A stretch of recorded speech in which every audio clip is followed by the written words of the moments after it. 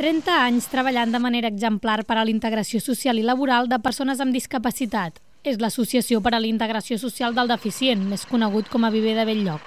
Pensem que aquesta tasca silenciosa que té molt de voluntariat, que s'està fent des de fa 30 anys, és hora de fer algun reconeixement.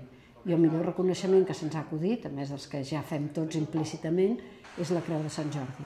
Rebre la proposta sobre paper d'aquest projecte ja em va entusiasmar però quan vaig conèixer els sis nois que van començar el primer dia que els vaig anar a recollir, llavors ho vaig tenir tan segur que em va donar força per arribar fins ara. L'Ajuntament de Cardedeu ha sol·licitat a la Generalitat de Catalunya l'atorgament de la Creu de Sant Jordi, donat que és el màxim distintiu que reconeix mèrits en la tasca cívica i social. El Viver de Belllloc s'ha convertit en un referent per a la integració de persones amb discapacitat del Vallès Oriental i molt especialment de Cardedeu. Sentim més orgullosos per la tasca que fan aquests nois per l'autoestima que per ells pot representar, tot el que sigui el reconeixement del món, diguem oficial, per ells els hi dona una categoria i s'ho diuen uns als altres. Per aconseguir-ho s'està portant a terme una recollida de signatures que finalitzarà el 17 de gener.